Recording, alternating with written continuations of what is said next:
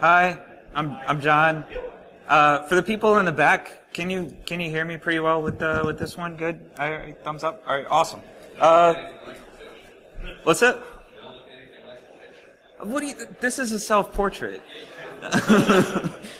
um, in my mind, that's how I look. Uh, so uh, before we begin, I want to do a quick overview of how SSL works. So I drew this network diagram. Um, on the left, you have a, a, client system. On the right, you have a server. And in the middle, you have your network monitoring solution. Uh, so traditionally, one would think that uh, with that network monitoring solution, all it would see is a source IP, a dest IP, and in the middle, a uh, you know, it's encrypted. So that's that's all you get. Um, uh, but there's actually a lot more that we can uh, we can see uh, uh with the SSL session that's uh, unencrypted. So first, in the beginning, uh, the client sends a SYN. Server responds SYN ACK. Client responds ACK. After immediately after the TCP three-way handshake, the client will send a SSL hello, hello packet saying, "Hi, I'd like to talk in SSL." Um, and if the server is listening on SSL, it'll respond with its hello packet, followed by X509 subject and an issuer, which is also uh, sit in clear text. Now, the, the X509 um, uh, cert details can be used for, um, for as, as artifacts for detection. Um, so this is where X509 certificate details live in the pyramid of pain. Um, you know, the things at the top are uh, harder for threat actors to change and, and even harder to detect. Uh, and the things at the bottom are easy to change and very easy to detect, right? So it's in the middle. Um, so I want to I want to tell you guys a little story about uh, uh, my experience trying to uh, build detection for uh, for certificates.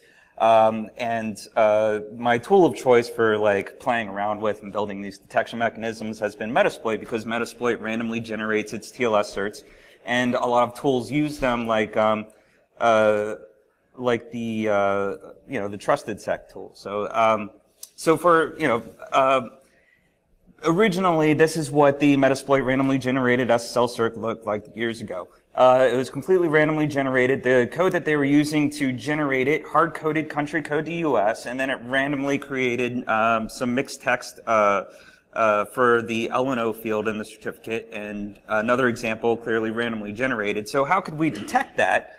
Um, I wanted to build some regex for that uh, mixed case alpha, uh, and I came up with a really complicated string, but then I realized that I could just do this. And that's because the L field in a certificate is supposed to be the location, the city name. Because they hard-coded country code to US, that has to be a US city name.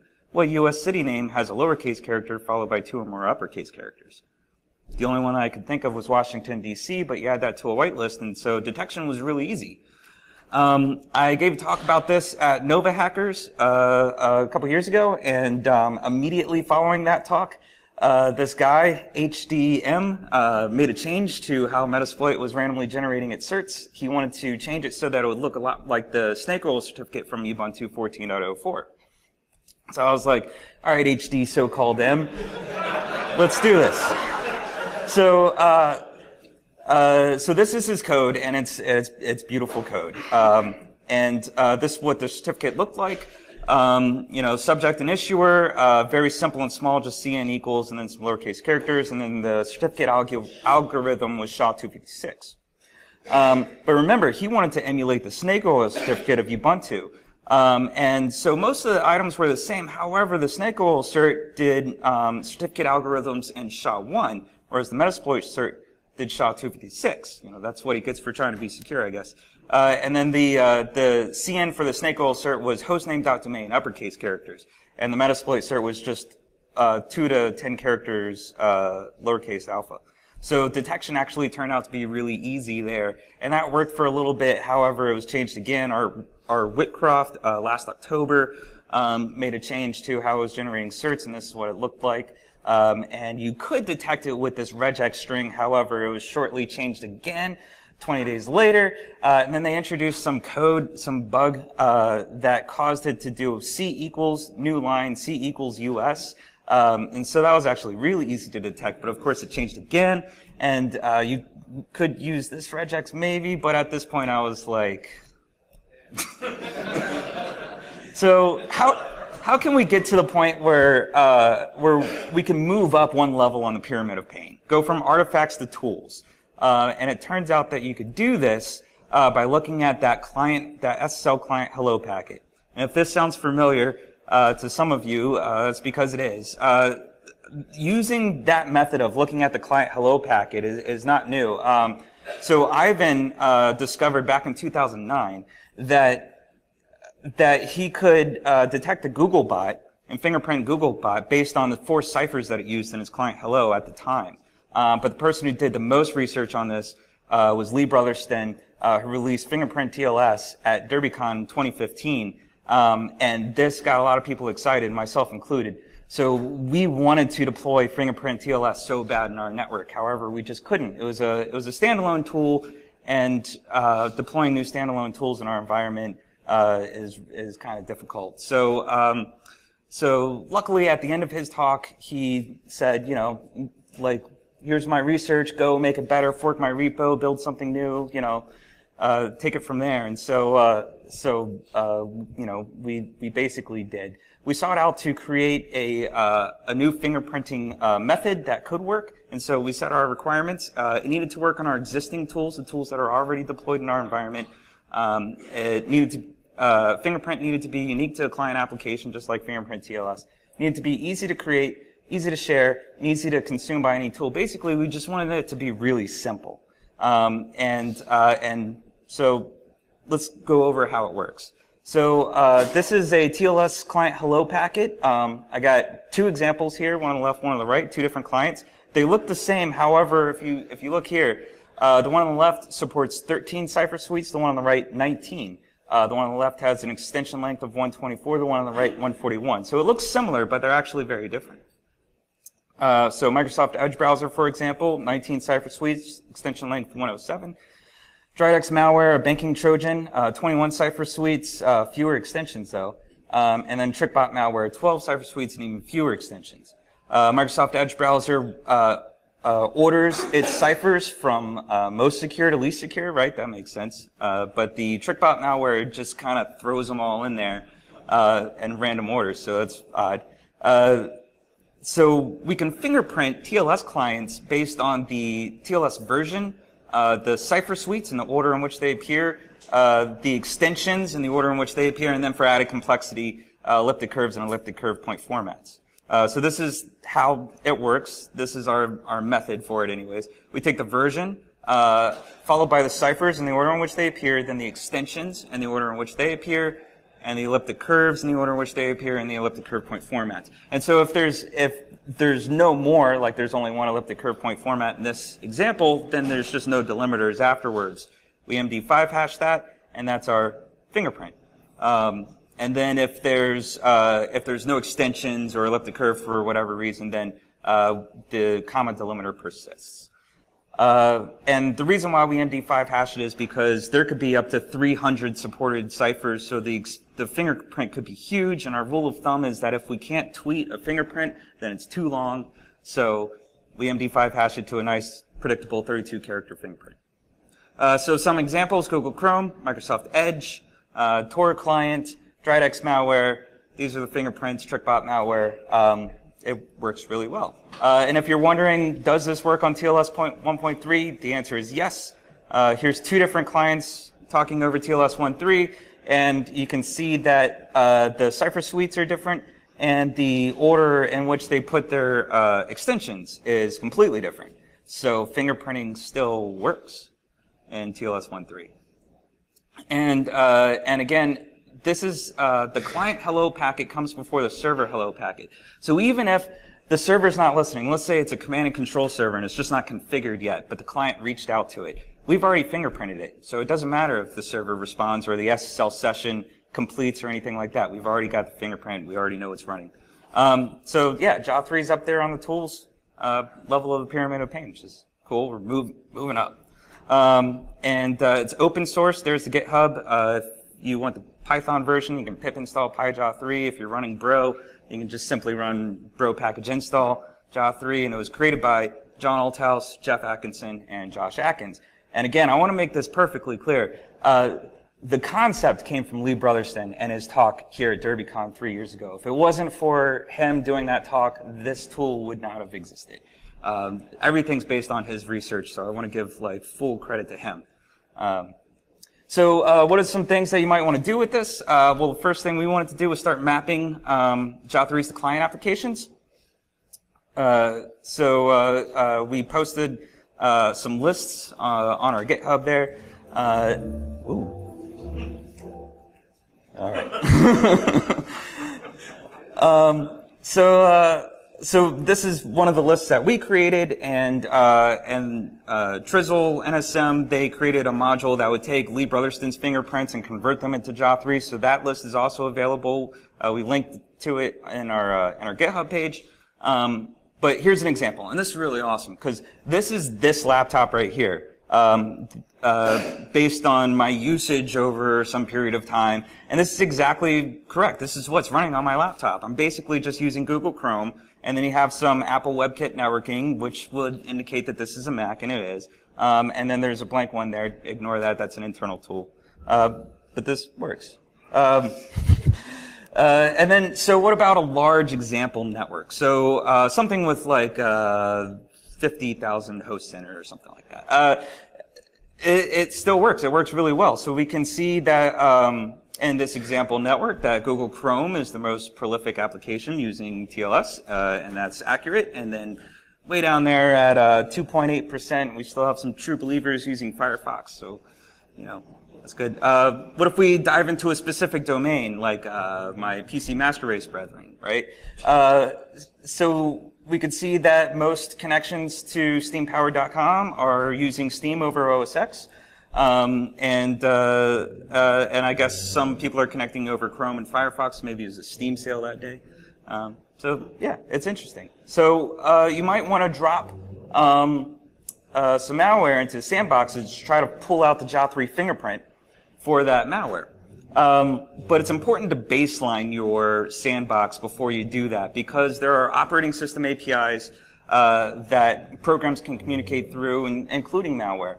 Um, so uh, this guy, uh, Barford, uh, created just this basic application that would create a bunch of connections um, uh, through all of those operating system APIs. So you could drop that into your sandbox baseline. Any JA3 that you see that's not one of these, you could probably assume is the malware. So file exfil detection over TLS. Uh, this concept was uh, created by uh, Bob Rotsted at Reservoir Labs. Um, basically, the concept of file exfil detection, normal outbound traffic looks like this. Um, uh, a file transfer outbound looks like this, right? So pretty obvious. And so his detection mechanism was just threshold uh, bytes over time and then log at the end after it drops off. Pretty simple. And so we, you know, we use this and uh, we have logs that output kind of similar to this. So, um, you know, here's a, a exfil to Dropbox, makes sense. And if you add in JA3, you could say that the client application was Dropbox. Okay, maybe that's fine. Uh, but what if the client application was PowerShell? Huh, maybe that's something worth looking into. Um, uh, another example, hunting on weird cert subjects. So uh, these cert subjects look like DGAs, and they are, right? So uh, if we pivot on them, grab the JA3 that's connecting to that uh, then we can see a, uh, a list of all of the um, domains that it's connecting to. So that just makes it really easy. Before with DGAs, people would like try to get the algorithm and have it uh, run through the algorithm and build a database of all different potential domains. And with this, you can just grab the JA3 and just watch that, and it's, it's kind of awesome. Um, Evilginx uh, is a man-in-the-middle proxy. Um, so it's supposed to steal your, uh, you know, your cookies or your, your passwords and whatnot. Um, and it's written in Go, and so there's the uh, the JA3 for that. Now, however, this is the JA3 for Go. So um, so if you were trying to detect on this, then what you would be detecting is the Go uh, the Go client. However, if you wanted to detect um, connections to a server that you controlled, where you could see the user agent and everything like that. So let's think that you have a, uh, a server that, um, you know, some critical server, and you wanted to be able to detect anytime someone was having those credentials uh, uh, stolen, right? What you could do is you could look for the JA3 of the Go client, but then also compare that to the user agent. And if the user agent is Chrome and the JA3 is a Go client, then you can kind of assume that uh, there's a Go proxy in between, potentially a malicious Go proxy in between. So you can still do detection there. Um, another example, Pupy RAT. Uh, this one's a, uh, you know, it's a, a open source uh, pen testing tool. Uh, it was, uh, you know, like with most uh, open source pen testing tools, that will eventually get used for evil. so, you know, Iranians use Pupy RAT to hit Middle Eastern organizations, at least according to SecureWorks. and then SecureWorks released some IOCs, which included domains and whatnot. Um, and you know those IOCs are not always the most valuable because they're usually burned by the time they're they're published. Uh, however, the fact that they were using Pupy RAT uh, is good for us because then we can look to see if we can build detection for that. And it turns out that detection is really easy. So uh, they hard code uh, the order in which the ciphers are uh, are picked for the client hello. So this is what it looks like. Um, and there's the JA3, and it's, uh, yeah, so detection is actually pretty simple for Pupy RAT, turns out. And there's actually, I think there's an, a bug in their code where uh, you can see a cipher suite in the middle is unknown. I think that's like a semicolon or something. So it just makes it super anomalous, very easy to detect. Move on to some targeted malware. Um, so uh, this is malware that was specifically targeted for our environment you know, by some pen testers, uh, and it turned out it was really easy to detect using JA3 because it only had a single cipher. Uh, very anomalous, uh, very easy to find just by hunting for some weird things. Um, I should mention that our, our bros script, uh, if you uncomment some lines, uh, you can uh, have it log the entire fingerprint string along with the JA3, so you can do some hunting based on looking for something like only one certificate. Uh, so back to Metasploit, round four. Let's go back at it. Uh, I ran uh, Metasploit on a, on a Windows VM just to get some more details. This is what it looked like in Moloch, by the way. If you don't know what Moloch is, it's this awesome full packet capture, open source tool. Find out more at molo.ch. Anyways, this is what it looked like in Moloch. Uh, Moloch has JA3 uh, built into it, the latest version. Um, so we could see that the JA3 wasn't changing every time we were running um, Meterpreter on Windows 10 and uh, and this was the JA3 for direct to an IP, and the bottom was the JA3 if it was going to like a domain name. Uh, and so looking for that in, uh, an example environment, uh, find out that that happens quite often. That JA3 pops up quite a bit. And uh, that's because it's actually like a Windows DLL API. So it's a Windows API that it's communicating through. Um, so detection just based on that doesn't really work very well uh, enter JA3S. This is where we deviate from Lee Brotherston's research, uh, starting to look at fingerprinting the server side of the Hello packet. Um, so this was my hypothesis in building this, because uh, even Lee Brotherston in his talk was like, don't bother fingerprinting the server side. There's nothing, there's nothing of value there. It changes too often. But I, I did it anyways, just to see. Because I had an idea that um, clients will uh, or, or, servers will respond to different clients differently, but they'll respond to the same client the same.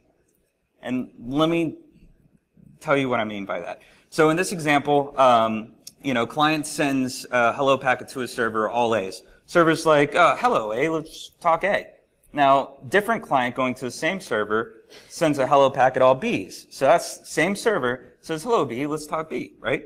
Um, so, you know, different client responding differently. However, it'll keep responding the same to that B client. Um, so here's the method that we use for generating that JA3S. We just look at the TLS version that the server is using, the cipher suite that it picked, and then the list of extensions. It's actually just really simple. So again, this is what it looks like. We MD5 hash that, uh, and, uh, and that's how we get the JA3S.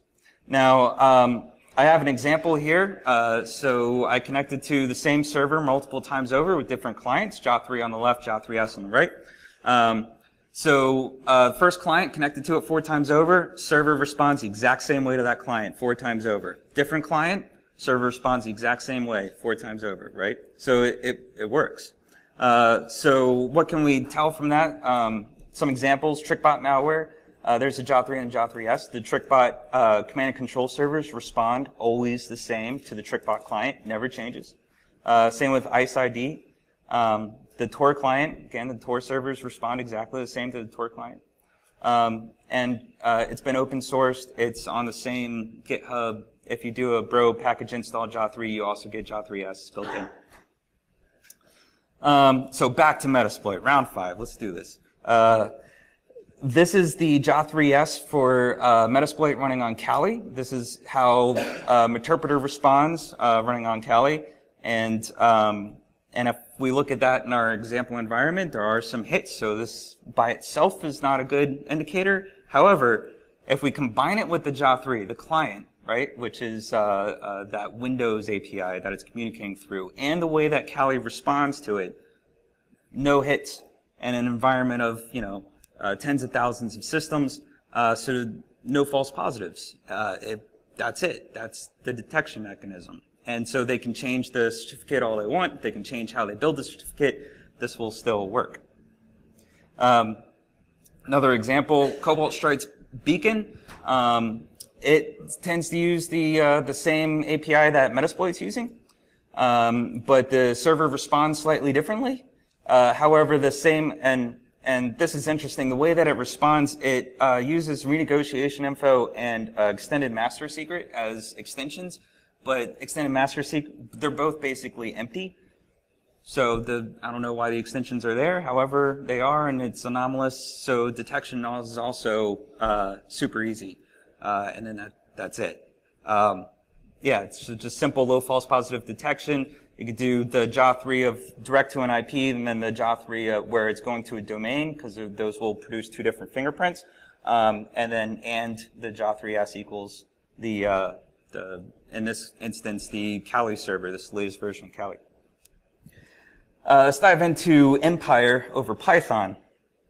Um, so this this example is again with pen testers, um, and uh, and so they were using the Python version of Empire. Uh, so the JA3 there is the JA3 for Python. You know, if I look for that in our environment, um, and I, I, forgot to take a screenshot of it, but I swear this is what it looked like in Splunk. Um, there was a lot, right? Because it's Python. Um, and there's a lot of Python, you know, happening in a dev environment. However, if we look at the JA3S, it turned out that their server was responding in a very unique way to this, uh, this, you know, uh, Python Empire uh, uh. So if I search for JA3 equals Python and JA3S equals their C2, the way that their C2 was responding, um, then all I saw was just the connections from the infected hosts. And that was it. That was the, that was the detection mechanism. So it, it worked out really well. Um, of course, we had other detection mechanisms on the host and whatnot, but for, for the network detection, uh, this worked out really well. So they actually, um, they, they actually, after this, after detection, you know, iterating through normal, you know, kind of pen test style stuff, uh, uh, they changed their uh, certificate. They went out and bought a brand new certificate. They had it signed. They bought a new domain. You know, re redid the whole thing. Got another shell on network. Boom, detection. And they're like, oh, let's let's move. So they moved to a completely new infrastructure. Um, you know, a, a, new cloud hosting provider. They bought more servers. They you know they moved their their image over and everything like that. Bought a new domain, new certificate. Um, and then as soon as they got their first shell, boom, detection, instantaneous. They were demoralized because, you know, what, like who thinks like in order to evade detection, I have to change my server image? Uh, no one really thinks about that, but that's what would have been needed in order to evade this, or um, uh, or just not use TLS uh, because then it doesn't work. Um, so uh, that takes me to HASSH. So fingerprinting uh, TLS SSL, uh, that's not the only thing that we can fingerprint that's an encrypted channel. Turns out that we can also fingerprint SSH. So this idea and concept uh, was created by Ben Reardon um, on our team. And what he came up with was that uh, we could use these fields and the SSH uh, key negotiation to fingerprint SSH uh, clients and servers. Uh, so we use the KEX algorithm, the encrypted algorithms, the MAC algorithms, and the compression algorithms. Um, and just to give an example, I've got two different clients up here, but between the two clients, one will have zlib none and the other one will have none zlib. So just the way that they're ordering very simple things uh, can be very unique. So the way that uh, the method for fingerprinting uh, SSH clients and servers that we came up with that uh, tends to just be simple and work is we take the key exchange, we use uh, semicolon delimiter, uh, then encryption, message auth, compression, and then we take all that, we MD5 hash it to a nice, easy, shareable 32 character fingerprint. Um, and, uh, and the reason why we MD5 hash, again, we were looking at doing SHA-256, but it just didn't make sense because we're not worried about hash collisions when all we have is just a string of text. Um, and also it's unnecessarily long, uh, so we can, we can tweet these fingerprints a lot easier, I guess. Uh, an another reason why we don't want to just output the entire uh, uh field, because this is what it would look like um, normally, so just nice and easy 32 character fingerprint. Um, HASSH has been open sourced. Uh, that's the link for it. Um, and there's a nice blog post on the Salesforce engineering site. Um, and again, the, the whole idea was basically created by Ben Reardon. Um, and Adel, myself, and Jeff, we, we just kind of helped out in, uh, in building it. So uh, there's going to be a lot of cool research coming out of coming from this from uh, both Ben and Adel. So I recommend you guys follow them on Twitter uh, to see what's coming out next.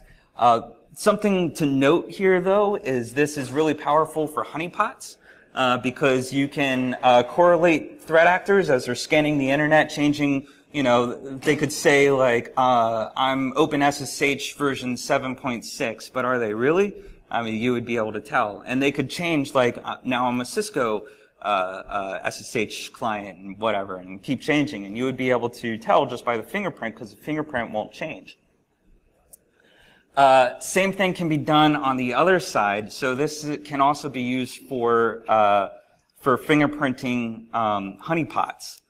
So if you had a honeypot and you said, you know, I'm a Cisco switch or something like that, but the fingerprint shows that you're just running OpenSSH, then probably a honeypot. So it's a double-edged sword. Uh, just be aware of that. Um, but yeah, it's it's awesome. So uh, keep an eye on those uh, uh those uh, Twitter accounts. So in conclusion, uh, I want to say JA3 is not a silver bullet.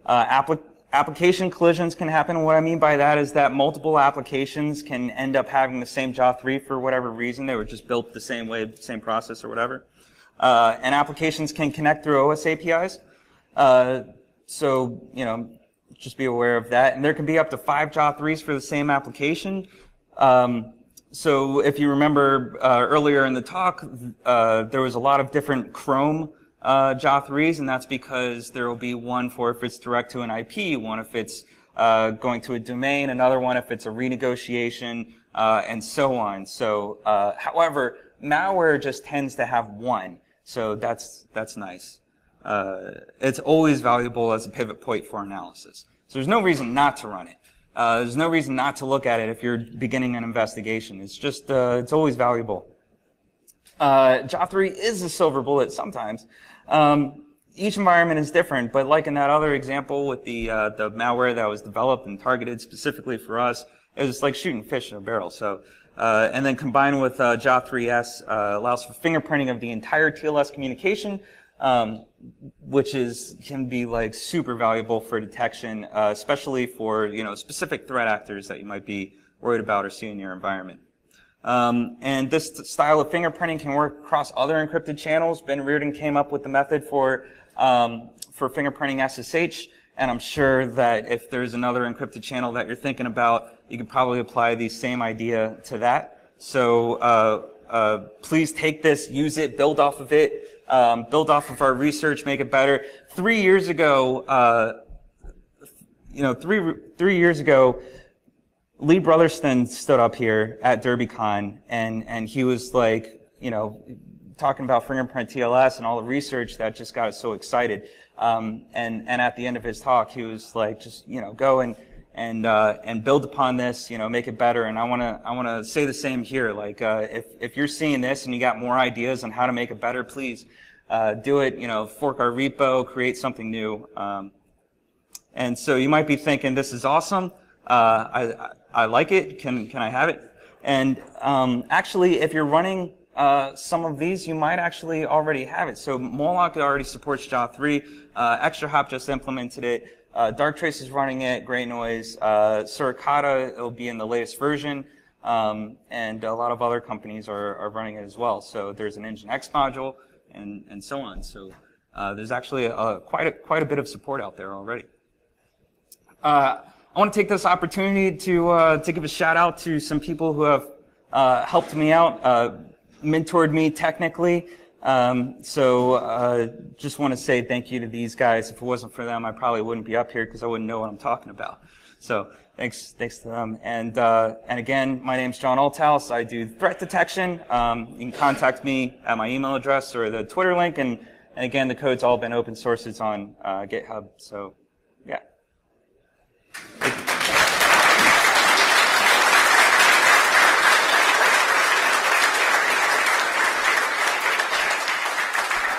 Is there, uh, is there any questions I can answer? Yes. Yeah. Yeah. Yeah.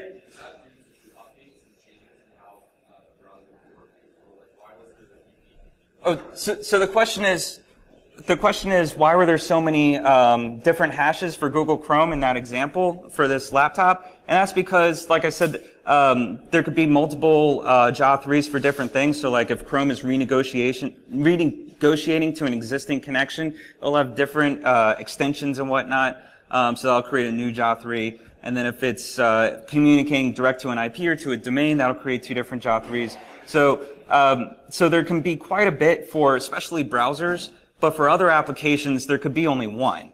Um, like malware tends to just have one. Tor just has one, for example. Yeah, uh, yes. Why is there so much I wonder, you know, you're using built-in APIs and? Like, are that many people, So, like, Yeah. So the, the question is, why is there so much variance? Why is each application kind of unique? And the answer is because it, it depends on, you know, what libraries you have installed on your build system at the time that you're building. Even the, the operating system and the version of the operating system uh, matters in how the TLS uh, uh, client hello is formulated. So, you know, the way that, that you build an application right now, um, like on your laptop, will be very different from the way like Google's building their master Chrome, you know, client uh, on their server somewhere using different libraries, different operating systems, and that, that's how that's why it's all unique. Yes.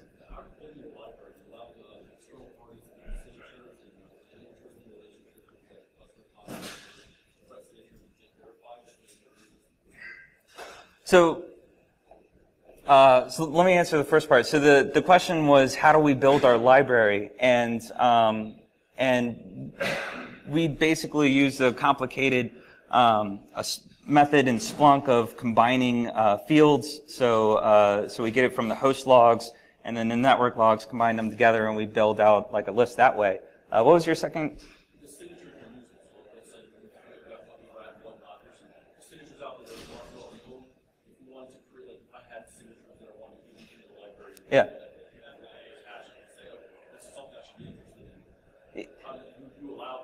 Yo, oh, absolutely. So, so the question was, what if, uh, what if I create a whole bunch of uh, signatures for malware? Like, how would I share that and whatnot? Um, so we didn't create a blacklist because we're worried that you know what may work in our environment may not work in other environments. There may be false positives. Uh, but you know, if you if you want to create a blacklist and share it out, please do. You can you can add to our repo, or you can create your own repo. Let me know. I'll add a link in our repo to link to your repo, and then everyone will see, and we can do it. Yeah. Any other questions? Yes. Going back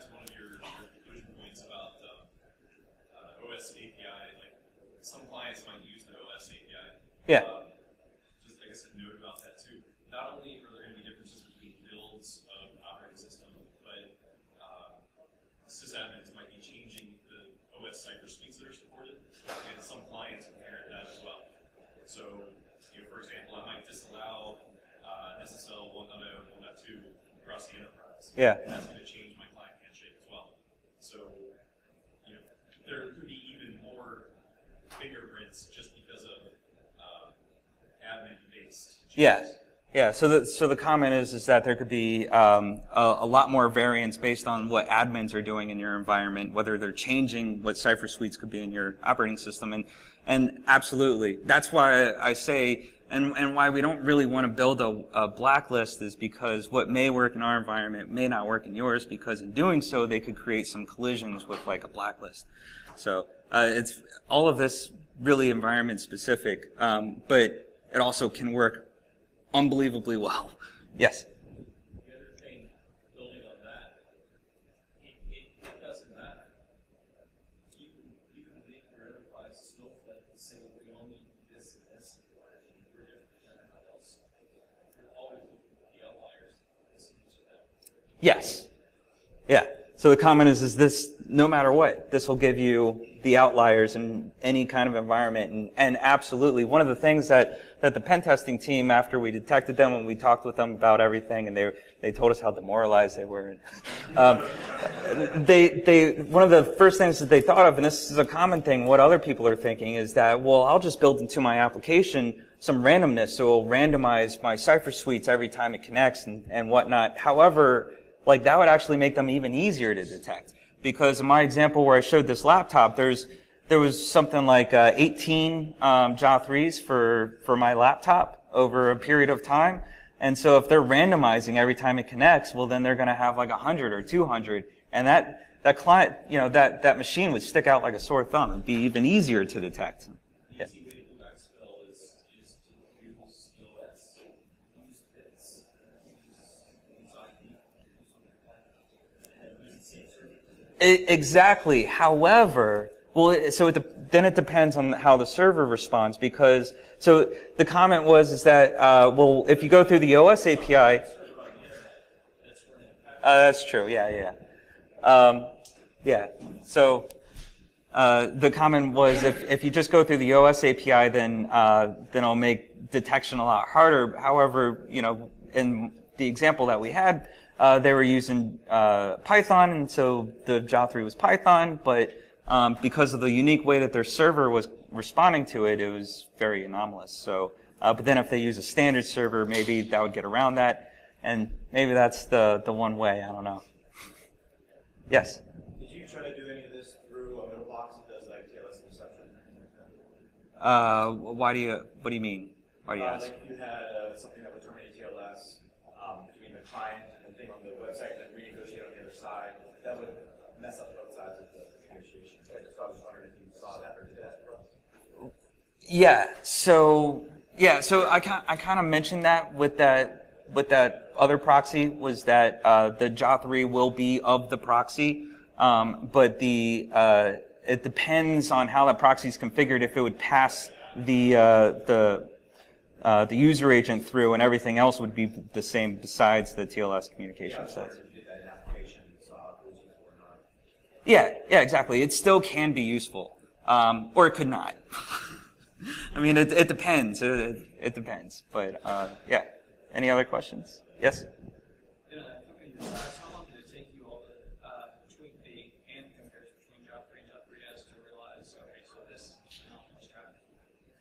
it so the, the question was, how long did it take us to uh, to compare JA3 and JA3S and find anomalies?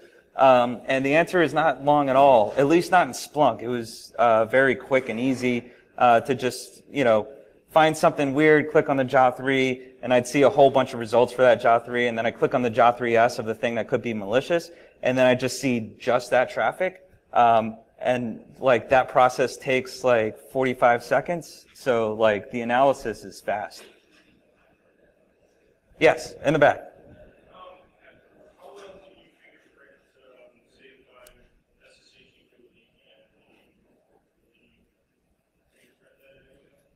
The question is, can I fingerprint SSHing to a VPN?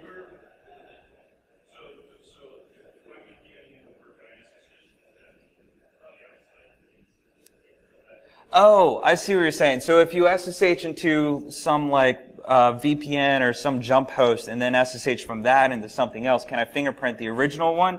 The answer is no. Um, the uh, it'd only be fingerprinting just the, the client that is making the connection from where I can see it.